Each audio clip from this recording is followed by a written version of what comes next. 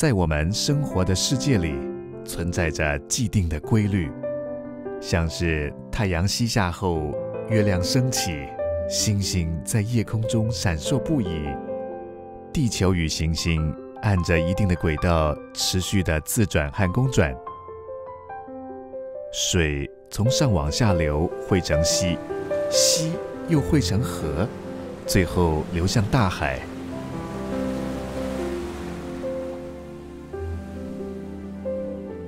自然界的奥秘，让人有生敬畏之心。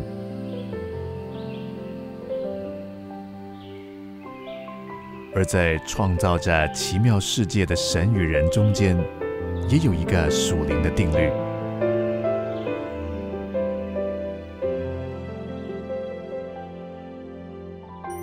神爱你，并且为你的生命有一奇妙的计划。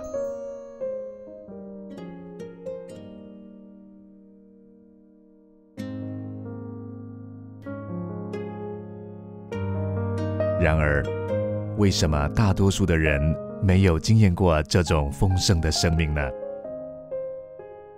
人因有罪而与神隔绝，所以不能知道并经验神的爱和神为他生命的计划。神创造人，原是要人享受与他同在一起的快乐，但是因为个人偏行己路，背向真神。以致与神隔绝，这种向神任性的态度，使人对神漠不关心或公开反对，就是圣经所说的罪。罪使得我们与神之间有一道无法跨越的深渊。虽然人不断用自己的方法，就如善行、道德、宗教、哲学等。来寻求神和丰盛的生命，但是总得不着。而连接着深渊的唯一道路，就是耶稣基督。耶稣基督是神为人的罪所预备的唯一救法。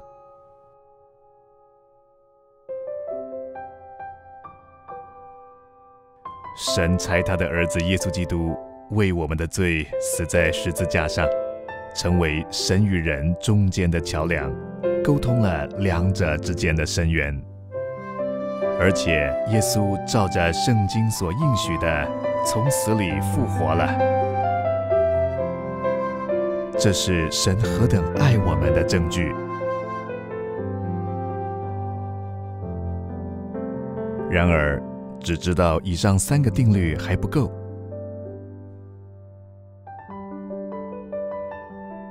我们必须亲自接受耶稣基督做救主和生命的主，这样我们才能知道并经验神的爱和神为我们生命的计划。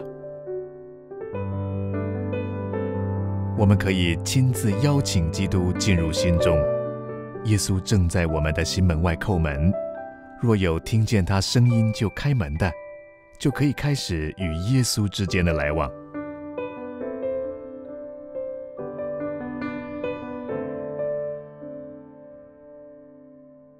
这两个圆圈代表两种生命：自我管理的生命，是自我在生命的宝座上；基督在生命以外，人生的各项活动在自我管理之下，时常产生各种混乱和不安。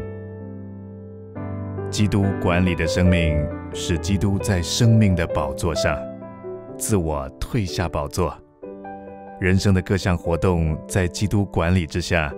结果就合乎神的计划。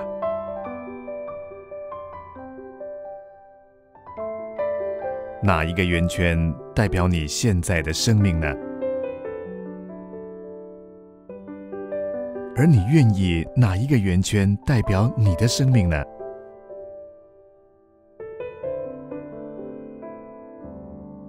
你现在就可以借着祷告接受基督，祷告。就是和神交谈。请以真诚的心祷告邀请耶稣进入你的生命中。神知道你的心他看重你内心的态度过于你的言语。下面的祷告可做参考。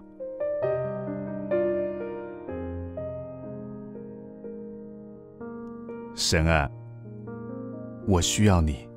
谢谢你为我的罪死在十字架上。我愿意打开心门，接受耶稣做我的救主和生命的主。感谢你赦免我的罪，求你管理我的一生，使我成为你所喜悦的人。奉主耶稣的名祷告，阿门。这个祷告是否合乎你的心愿呢？如果是，请你现在就做同样的祷告。